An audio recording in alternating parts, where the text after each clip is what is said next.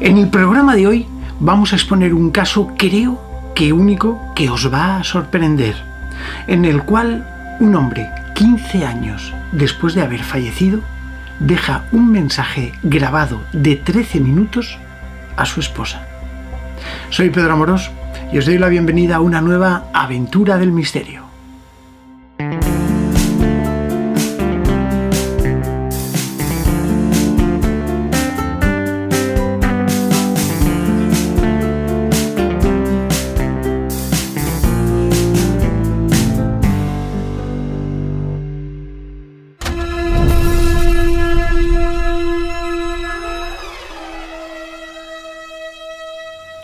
Hoy os garantizo que vamos a ver algo verdaderamente extraordinario, más que ver, escuchar. Así que os voy a pedir que intentéis no saltar el vídeo mucho y no perderos detalle para poder llegar a comprender el grueso de todo este caso que, que vamos a presentar. Pero antes de nada quisiera agradecer vuestra presencia, vuestro apoyo, vuestra fuerza, ese ímpetu, esa intensidad y esa energía que me transmitís en todos vuestros comentarios que gracias de corazón los leo todos, ya lo sabéis, aunque voy respondiéndolo poquito a poquito. Y también invitaros a que os suscribáis si todavía no estáis suscritos. Hay mucha gente que ve un poquito, eh, no, no tiene nada que ver con el misterio o algo así caen en el canal. Y bueno, pues nada, deciros que nos deis la oportunidad y que bueno, pues que de algún modo intentéis suscribiros a ver si os gusta el canal. Como bien sabéis, en el canal tenemos una sección que se llama El Muro del Misterio, en la cual vamos introduciendo eh, casos, historias y, bueno, pues cosas que nos han llamado poderosamente la atención y que, y que, bueno, yo creo que tienen cabida dentro del mundo de la investigación y, por supuesto, creo que tenéis que ser eh, partícipes de ello. Así que este caso lo hemos incluido dentro de esta sección del Muro del Misterio. Comienza cuando una señora, María, hemos cambiado el nombre lógicamente para eh, preservar un poco la intimidad de esta persona, se pone en contacto conmigo y, bueno, pues me, envía una grabación. Eh, al principio em, yo estuve escuchando la grabación y no daba crédito, absoluto. Esta persona, esta mujer, tiene 84 años de edad, y es seguidora de nuestro canal de Aventura del Misterio. Y bueno, pues estuvo contándome un poco, narrándome un poco los antecedentes del caso. Y bueno, eh, yo sé que es un caso interesante. Eh, bueno, así lo vi yo al principio, ¿no? Pero cuando escuché lo que vamos a escuchar dentro de unos instantes, me quedé absolutamente perplejo. Me quedé, como se suele decir, de piedra. Y es porque no he visto caso igual. Se trataba de una grabación en audio que había realizado de la voz de su marido, su marido difunto. Había fallecido 15 años antes. Este hombre había viajado al extranjero durante unas semanas y cuando regresó estaba tomando el sol tranquilamente y bueno, María lo encontró muerto. Murió de repente. En la grabación que nos envía María aparece la voz de su marido y también una extraña música como de violines, que parece una orquesta de cámara, que está tocando, eh, acompañando a lo que es la voz del marido mientras que le está dejando un mensaje ni más ni menos que de 13 minutos de duración. Desde el punto de vista de la psicofonía, sabemos lo difícil que es esto. Eh, cuando, bueno, eh, grabamos psicofonías, como habéis visto en el desarrollo de todas las aventuras del misterio, bueno, pues siempre de un modo u otro, eh, tenemos que comprender que las psicofonías son impactos de energía, impactos de, voz o de transformación energética que afectan directamente a lo que es el sistema de audio, el sistema de grabación, y ahí es donde se quedan grabadas. Pero tan solo duran unos segundos. La más larga que tengo yo dura un poquito más, pero de algún modo, eh, bueno, no dejan de ser bastante cortas, ¿no? Algunas voces paranormales sí que tienen un poquito más de duración, pero se trata precisamente de ese tipo de cosas, voces de origen paranormal, posiblemente de origen fantasmal. Tenemos el caso de personas en la historia como Marcelo Bacci, el cual, bueno, pues eh, realizaba proezas eh, dentro de lo que es la experimentación del sistema transradio, obteniendo voces directas de una duración eh, bastante grande, ¿no? Y también tenemos algunos, algunos sistemas como los desarrollados por la Metascience Foundation, como eran los MARC, en los cuales, bueno, pues sí que había una serie de antenas receptoras que, bueno, eh, se obtuvo, tuvieron resultados eh, bastante interesantes de varios minutos, Pero esto no quita, no quita para que de vez en cuando tengamos sorpresas como la de hoy. Claro, el caso este, concretamente, tendríamos que enfocarlo como un caso posiblemente relacionado con la mediunidad, posiblemente, que nada tiene que ver con una psicofonía, pero que tiene todos los matices de ser algo verdaderamente extraño. En unos instantes pondré una entrevista que realicé a María contándonos todos los pormenores de este caso. Pero antes me gustaría poneros un poquito en antecedentes. Podríamos decir que el caso comienza el 8 de octubre del año 2019, em, justo la fecha de cumpleaños del difunto marido de nuestra querida María. María estaba acostada, se levantó de dormir y de repente escuchó una voz, te amo. Eh, ella la reconoció de inmediato, era la voz de su marido, su marido que hacía 15 años que había muerto. En este momento, María se incorpora, eh, se queda absolutamente sorprendida y sigue escuchándole hablar. Piensa que se trataba de su cabeza, de que algo no iba bien y que estaba escuchando la voz del marido. Evidentemente, para María nunca había pasado página de, de su marido. Y quizá a lo mejor pensó que estaba obsesionada o algo. Así pues se arregló, salió de casa, se fue a dar un paseo por la playa, pensando precisamente en eso, de que si hubiera sido su cabeza que le hubiera fallado en algún momento, al cabo de un rato, volvió a su casa y en un momento dado volvió otra vez a escuchar la voz, pero esta vez con un mensaje más directo. Fue anotándolo en una libretita que tenía, el mensaje que le estaba dando, que ella estaba escuchando, porque pensó incluso que podría tratarse de una canalización. Y bueno, pues pensó en grabarlo, ¿no? Así que cogió una pequeña grabadora que tenía eh, de audio y la puso a grabar. Y obtuvo tuvo una grabación de 13 minutos, que es lo que vamos a escuchar a continuación.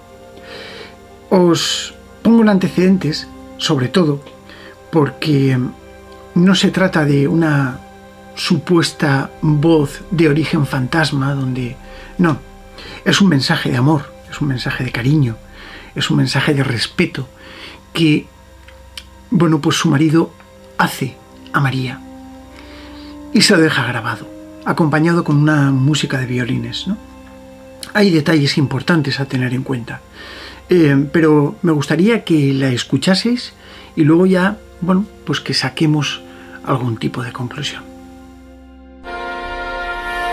Cuánto he sufrido por ti, pero por fin has llegado. Me siento muy feliz de ver que lo has conseguido. Siento todo lo que has tenido que pasar. Siento tanto tu sufrimiento,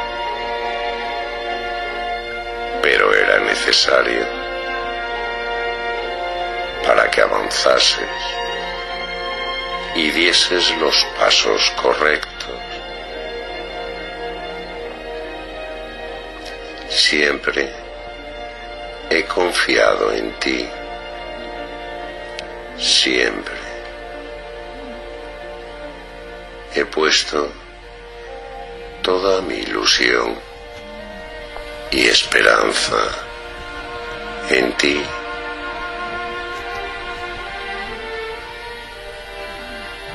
Ahora tenemos que separarnos. Por favor,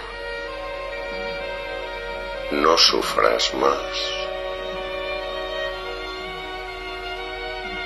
Sigue caminando.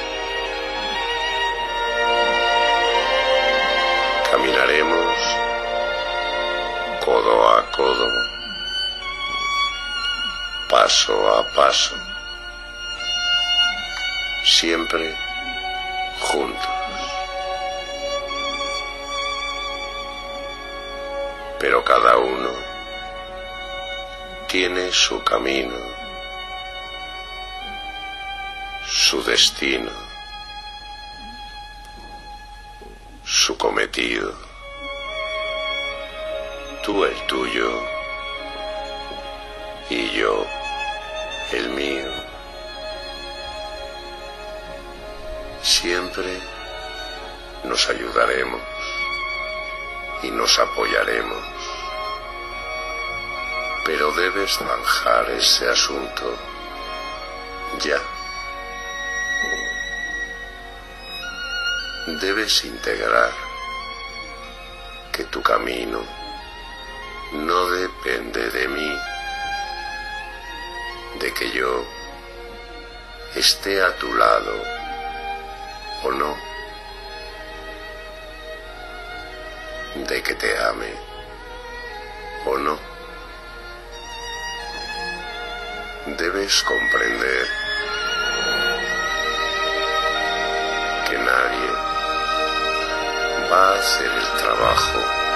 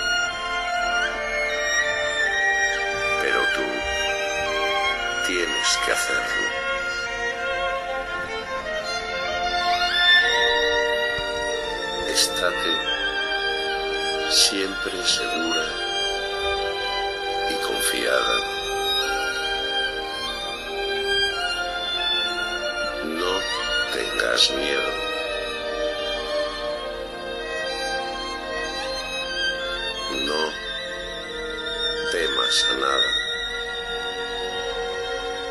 No te puede pasar nada.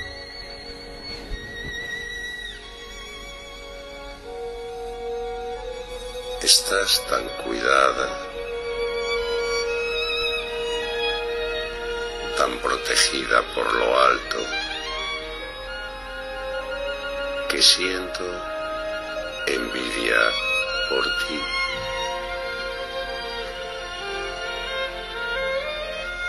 Me siento feliz de que seas tan amada, tan cuidada, tan asistida. Siempre lo vas a estar.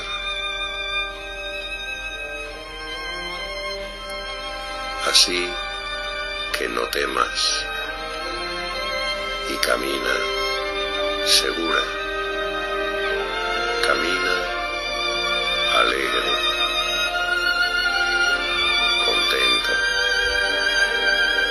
emana esa alegría a tu alrededor. Esa luz que sale por tu rostro como un faro maravilloso para los demás. Los demás notan tu luz. Tú también estás empezando a notarla. Siempre la has notado. Pero ahora te das más cuenta. Ahora la palpas. No puedes negarla. Y la gente que tiene la fortuna de compartir camino contigo también lo nota y te lo dice. Y el que no lo dice es porque se siente demasiado turbado como para decírtelo. Sienten una desazón en ellos cuando están contigo. Algo les mueve internamente que parece como si temblaran por dentro.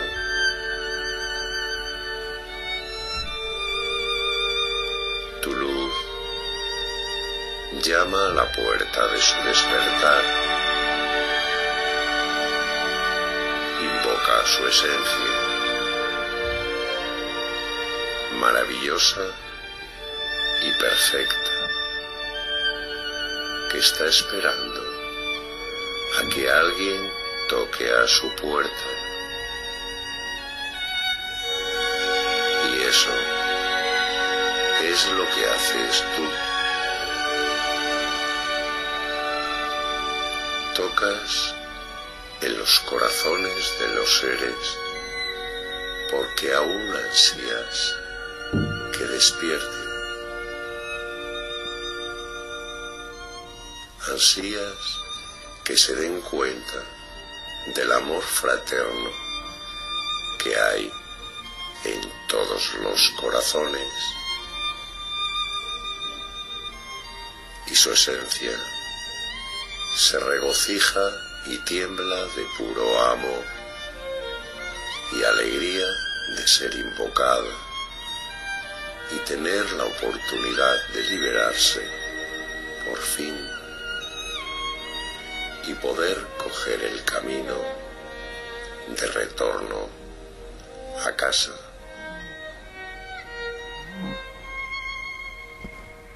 No dejes nunca que tu luz se apague. Intensifícala para que salga por todos los poros de tu piel y perturbe y conturbe a todo lo que se acerque a ti.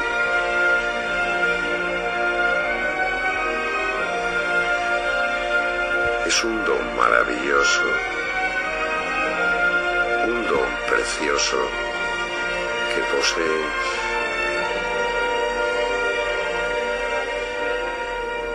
Tus ojos son faros.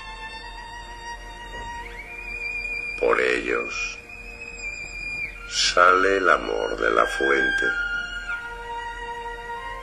el amor eterno, la luz eterna,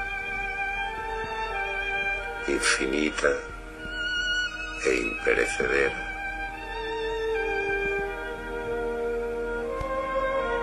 Gracias por acompañarme, por permitirme compartir tu camino.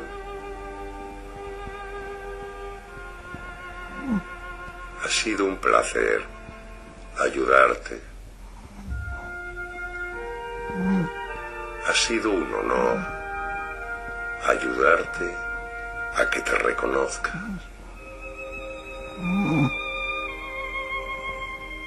Siempre he confiado en ti. Siempre lo haré.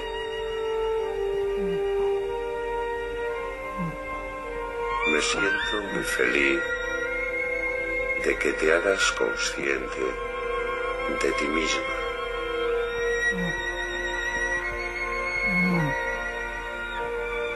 Recuerda siempre que te he amado con locura y delirio profundamente. Que te amo de igual manera y que siempre, siempre, por la eternidad, te amaré.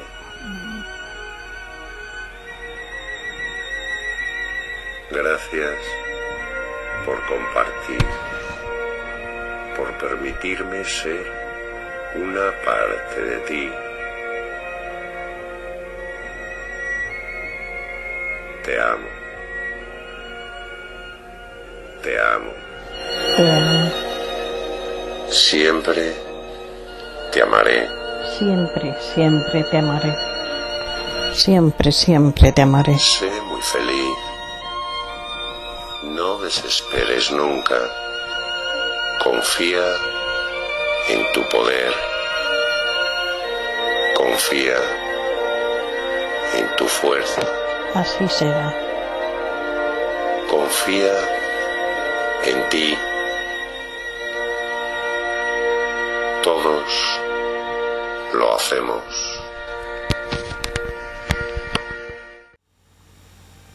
Bueno, pues aquí teníamos esta grabación. Pero os pido que no os vayáis y que escuchéis ahora las declaraciones de María que hizo y cómo nos defiende esto.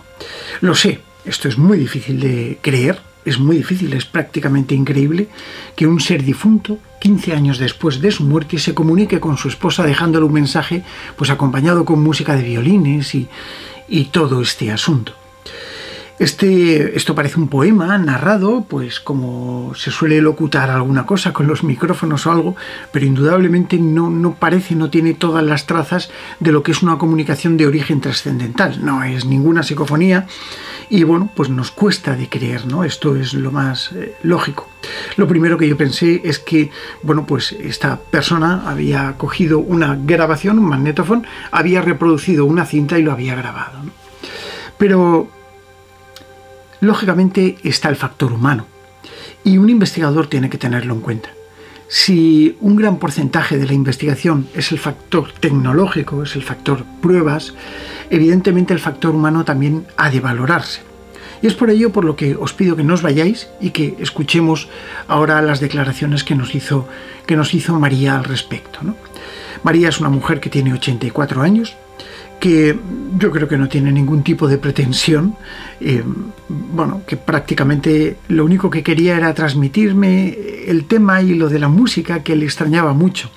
Ella lo más consciente que era era precisamente de que había grabado la voz de su marido, que la oía, ella tenía ya antecedentes de manifestaciones paranormales de su propio marido, pero era evidente que lo que le llamaba mucho la atención es que ella no había escuchado ninguna música y en esa grabación que ella la escuchó una y otra y otra vez, según nos cuenta, y ahora lo vais a ver, pues no había escuchado música alguna, ¿no? A pesar de que yo le hago muchísima incidencia sobre el tema de la música. Y claro, a mí me saltaban muchísimas dudas. ¿Creo a esta persona? ¿No la creo? Pero luego tuve la oportunidad, como os decía, de hablar con ella y de que me contase el caso. Yo personalmente no me quiero manifestar al respecto. Os diré que si pudo ser un error, pues podría.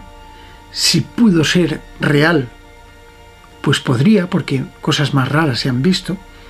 Pero de lo que no tengo ninguna duda, no me cabe duda, es que la señora María eh, para mí no tiene ningún tipo de duda.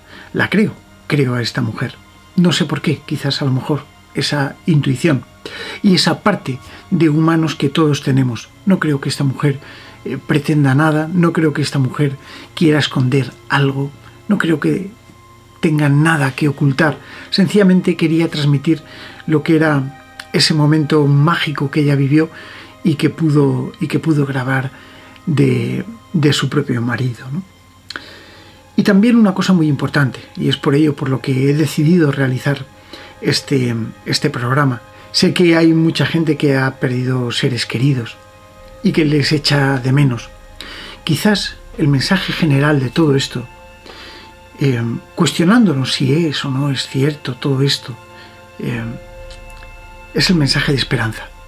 Ese mensaje de esperanza que todos deberíamos de tener y yo creo que es lo que eh, esta voz intenta transmitir a María.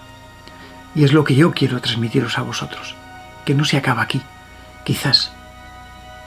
Como pruebas contundentes, no lo son, porque a veces necesitamos pruebas extraordinarias para demostrar cosas extraordinarias, pero por lo menos aquí lo tenemos. Os dejo con la entrevista que pude hacer a María. ¿Cuánto has sufrido desde que yo me fui? Yo también sufrí pensando que te perdía. Todo eso lo tengo apuntado. Sí. Y eh. así, igual que está oyendo la, la cinta, es que, eh, ¿cómo decirle? Ni yo todavía me lo creía y me fui a la playa paseando porque suelo ir todos los días. Sí. Y me paseando y entre las olas y eso decía, no puede ser, lo habré soñado, pero no, si lo he escrito también. Y, bueno, bueno, ya le digo, y así empezó. Total, que vuelvo de la playa y siempre me echo encima de la cama a descansar. Ajá. Y, y sigue hablando, donde ya me dice ahí, todos te queremos. Mm, ya. Eso es lo primero que grabé después de cuando volví de la playa, mientras cogí la grabadora. Y entonces, esa música de violines... Eh...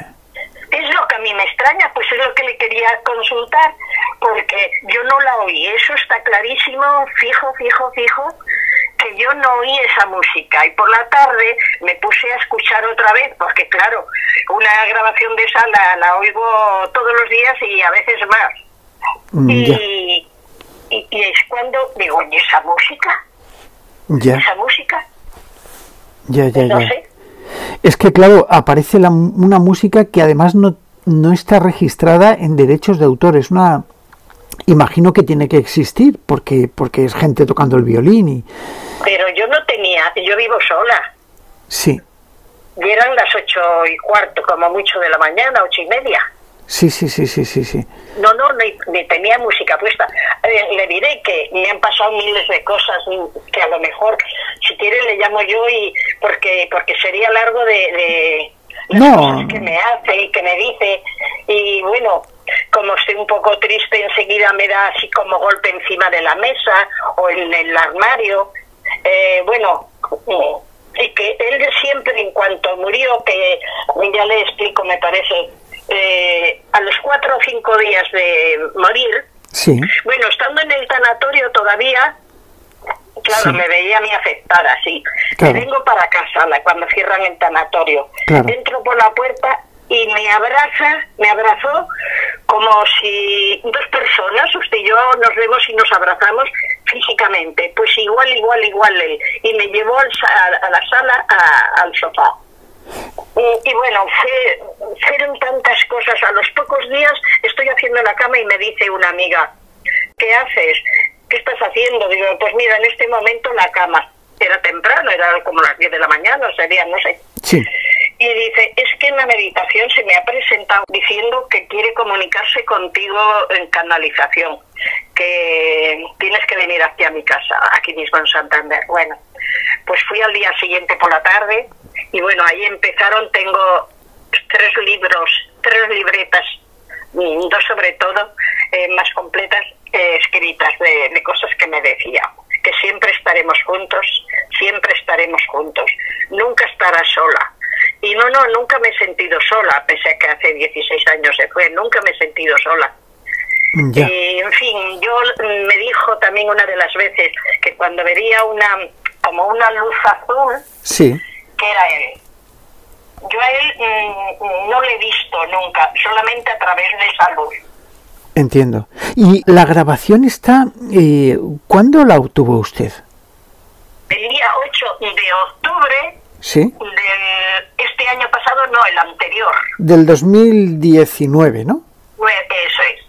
Entiendo. eh, después mirando la fecha, digo, anda, él hubiera cumplido ahí años, 80 y 81, 82, ese mismo día.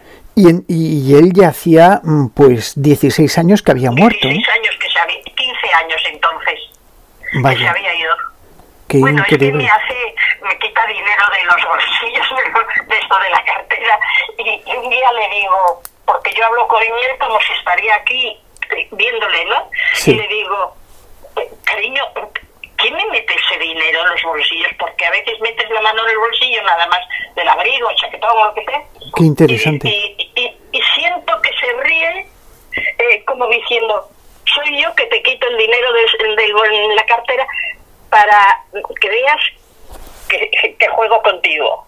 Qué, qué, Yo qué lo siento después como telepáticamente todo, pero a él ver no lo he visto, solo eh, cuando veo ya un- como una llama azul, Sí, sí, sí. pues digo, ya sé que yo cierro los ojos por la noche, cuando apago la luz, cierro los ojos y lo primero que veo delante es una gran esfera y como luces que se mueven y siento encima de la cama como si me estarían arropando y miro y no son mis gatos, eh, pues tampoco me asusto, digo, ya sé que estás ahí. Cuando un día te me manifiestas y cuando menos lo pensé, me dijo después también que habrá más veces. Entonces, eh, el proceso, el, el proceso que, que siguió usted eh, fue coger una grabadora porque había oído una, una voz. eh, Claro, ya antes de irme a la playa ya lo oí, pero al volver y echarme encima de la cama y seguir hablando, digo, caramba, esto lo grabo. claro. Y Y, es donde empieza, ahí. y donde entonces empieza, no, donde continúa. La, la, la grabadora es una grabadora de cinta, ¿no? ¿O utilizaba una cinta. o- No, no, es de esas mm, que tienen 70 horas. Vale, vale, vale, vale. Pues más extraño todavía.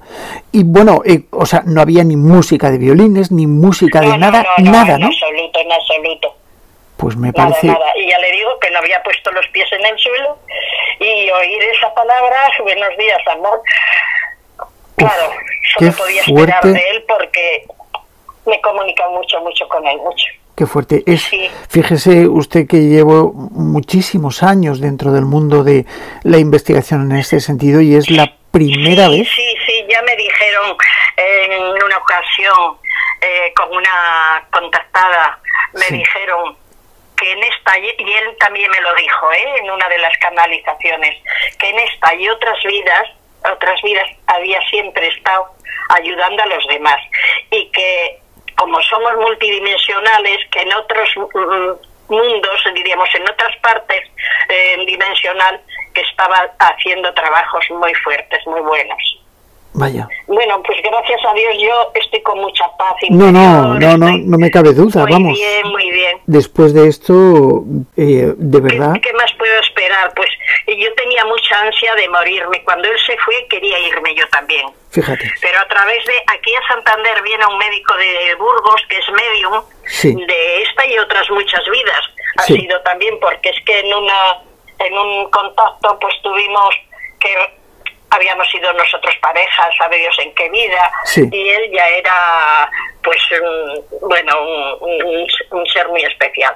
Y yo le preguntaba a él cuando viene, pues le pregunto cosas y, Claro. y muchas de las cosas que él, él le ve, le ve cuando viene a casa, le ve, dice, te está diciendo esto, te está diciendo lo otro, me dice esto, Mm, Ya, qué y es increíble. lo que más sé con él, yo se lo pregunto, Claro, claro. porque yo tenía muchas ganas de irme, claro, y que eso no debo pensarlo porque yo he pedido mm, tener larga vida para ayudar a los demás. Por supuesto que sí, por supuesto. Y bueno, Pues me, me 44 parece, años trabajando de enfermera y eh, lo he vivido, lo he vivido, lo he vivido. pues me parece de verdad un caso muy bonito, muy bonito, de verdad que muy bonito. A mí me gustaría, eh, a mí me gustaría hacer un vídeo especial de todo esto, porque la gente tiene que saber y tiene que, o sea, tiene que tener esperanza, ¿no? Eh, Oye, y le digo que también encuentro un escrito encima de la mesita y encima del ordenador, eh, que tengo una salita con el ordenador. Sí. Y, y encuentro un escrito. Y digo, ¿y este escrito quién me lo ha dejado? Y aquí vienen personas contadas. Antes venían más porque les ayudaba con la energía, les hacía tratamiento. Sí, Ven. sí. Y digo, ¿y este escrito? Pues sí, sí, es que es escalofriante. Digo, si es que no puede ser que sea mío, yo no, no soy así. Y entonces, a través de ese médico que Sí. viene de Burgos, le dije, pregunta a ver quién me ha dejado este escrito. que él no le había leído tampoco. Fíjate. Y, Sí, sí. y dice, un antiguo guía tuyo. Uno muy antiguo guía tuyo. Y hay alguna cosa que sí me encaja, porque yo cuando trabajé en un hospital en Bilbao, Sí. en ratos libres organicé una cosa de corazón a corazón, y eso también lo menciona un poco ahí. Qué bonito. Sí, sí. Fíjate. Porque yo ah, le diré que he sido 16 años también religiosa, con Ah. enfermos. De verdad, de verdad que le agradezco muchísimo, Y si muchísimo, quieres saber muchísimo. algo más, pues mm, los escritos son que todos los días leo un poco porque tengo las libretas también en la mesita Sí. y, y saco y al azar y eso, bueno, bueno, bueno. Vaya, vaya caso. Bueno, pues yo, vamos, eh, voy a hacer un vídeo expreso de, de todo este caso porque me parece algo verdaderamente apasionante. Por supuesto, manteniendo lo que es la, la discreción, eh, cambiando El nombre, por lo menos. el nombre, ¿no? por supuesto. Y si Mm, puedo no sé, ayudarle en algo más, pues lo mismo, porque hace poco me han aparecido, yo estaba hace poco obsesionada con marcharme de aquí porque la- el piso es grande y tengo todas las comodidades de garaje y de todo, vamos. Pero mm, marchar algo pequeño, pequeño, Sí. eh, más que nada por tener justo lo necesario, porque es que tengo tantas cosas al ser el piso grande claro, que quiero desprenderme de miles de cosas. y, y me dejó unas llaves encima de la mesa, tres llaves encima de la mesa del salón. Digo, yo esto, pues mira, y digo, a ver, ¿en qué, en qué puertas se abrirán? claro, claro.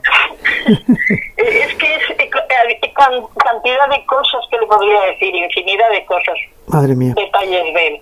Pues muchísimas gracias, de verdad, por, por hacerme partícipe con esto. Es muy bonito, muy bonito. Creo que, que tiene usted muchísima suerte, de verdad, por haber recibido esto, Creo que porque, sí, de verdad. porque creo, Soy feliz.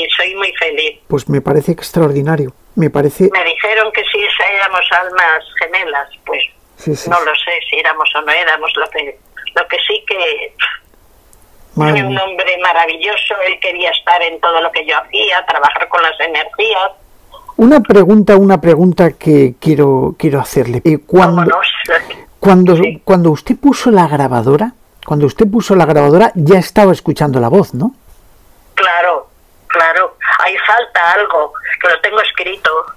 Es increíble, es, es la primera vez que, que veo una cosa así. Qué Pues suerte, que- qué suerte ha bueno, tenido una experiencia más, ¿no? Vaya, nunca se termina de aprender. Es un placer eh, y por Sí, supuesto Lo mismo, lo mismo. Agradezco. de gracias. Yo me siento recompensado con poder transmitirlo a la gente eh, para que todo el mundo tenga esperanza. Sobre todo eso, que tenga esperanza, que quizá Claro que sí. Ay, pues para que vean leer esto, eh, ese escrito que le digo que me dejaron, eh, me dice que yo, pero ¿por qué? Dice, para que vean que nada de lo que se hace, nada, ni, ni una respiración eh, va en, en saco roto, diríamos. Claro, claro, que todo claro. tiene claro, su mérito y su cosa. Sí. claro. Bueno, pues muchísimas gracias. Le envío un beso muy fuerte desde aquí y quedamos en contacto. Muchas gracias. Quedamos en Un honor. contacto, Y ¿eh? ya he seguido viendo sus vídeos, que no los veía, no los veía bien, no. Muy Pero bien. ya sí. Pues- Infinidad de, eh, también de gracias a usted, ¿vale? Gracias. Un abrazo y Y un besito. cuando quiera alguna cosa, pues ya sabe. Gracias. tiene. Muchísimas gracias. Adiós, adiós, adiós, adiós. adiós, adiós. Pues bien, aquí teníamos a nuestra amiga María que nos estaba contando el caso y la historia. ¿Qué opináis vosotros? Es complejo, es muy complicado. Sé que el mensaje parece increíble, que todo esto parece increíble, ya lo sé. Desde un punto de vista de investigador he de decir que, bueno, esto mm, pinta que, que está grabado como os he explicado antes, ¿no? Con un magnetofón y grabándolo. Pero si esto fuera así, eh, ¿no se habría dado cuenta María? Ella está absolutamente segura de que escuchaba la voz y que justo cuando estaba escuchando la voz del marido puso la grabadora, ¿no? Y la pudo captar, no escuchaba música. Entonces, ¿cómo es posible esto? Sin duda, y como conclusión desde mi parte personal, no tengo por qué dudar del testimonio de María. Me parece una persona entrañable, eh, cariñosa, una persona que no, bueno, que no tiene ningún tipo de pretensión en absoluto y creo en su testimonio. Que todo parezca increíble, esto ya os lo dejo a cada uno de vosotros para que saquéis vuestras propias conclusiones, como a mí siempre me gusta decir. Pero es importante, sobre todo, que el contexto de este mensaje sea para que tengamos esa esperanza, de que, bueno, quizá en ese otro lado, en esa otra dimensión, en ese otro lugar que nosotros llamamos más allá, pueden existir algún tipo de energías que, de algún modo, intenten comunicarse con nosotros y que lo hagan por el medio menos esperado posible. Esperanza. Yo creo que es lo que tenemos que tener. Esa esperanza. Sé que muchos habéis perdido seres queridos, muchos hemos perdido seres queridos y todos los echamos de menos. Y quién sabe si algún día nos volveremos a encontrar con ellos.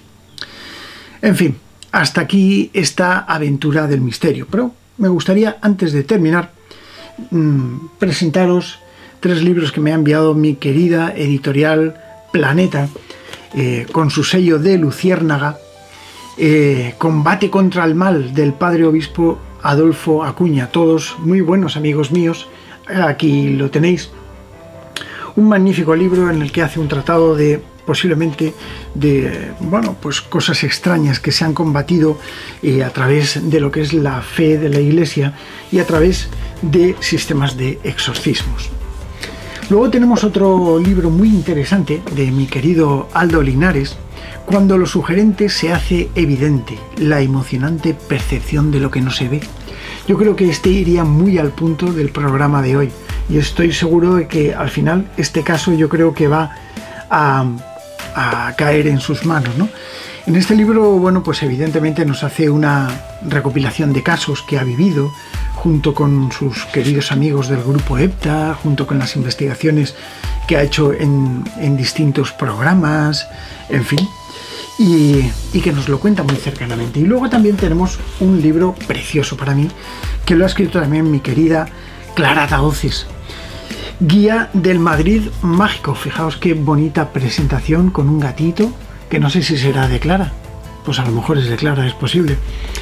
Em, donde, bueno, pues guía del Madrid mágico, fijaos, un tocho gordo, con dibujitos por medio, con cositas, fijaos que tiene cositas por medio, es súper interesante. Yo lo estaba ojeando porque me acaba prácticamente de llegar y bueno, pues eh, me ha encantado, me ha encantado. Así que bueno, pues eh, he hecho este pequeño recuerdo a mis amigos, eh, deciros que muchísimas gracias por vuestra atención que espero que os haya gustado el caso. Sé que no es lo habitual en Aventura del Misterio, sé que es una aventura del misterio un poquito más corta de lo normal, pero quiero dejaros reflexionando sobre, sobre este tema, ¿no? sobre todo porque es un tema que a mí me apasiona, sabéis que investigo el tema de la transcomunicación instrumental, que esto de instrumental tiene bien poco, es verdad. Yo creo que eh, de tacharse de algo sería de un caso, bueno, pues relacionado con la mediunidad, en la que sí que se ha podido llegar a producir algún transcontacto de este tipo, ¿no? Y que bueno, que aunque suene increíble, bueno, pues ahí está. Mi misión es enseñároslo y que vosotros saquéis vuestras propias conclusiones. Gracias por estar ahí. Si no os habéis suscrito todavía al canal, este es el momento para hacerlo. Ya sabéis, activar ahí esa maravillosa campanita y cuando lo activéis darle a la campanita y poner todas, activar todas las notificaciones, que no os van a dar la lata con notificaciones ni nada, solamente es para decirle a YouTube que queréis recibir la notificación de cuando Aventura del Misterio pues saca y publica algún vídeo. Así que nada, solo me resta una cosa, deciros que gracias por existir, es un placer teneros, como siempre, y hasta la próxima aventura del misterio.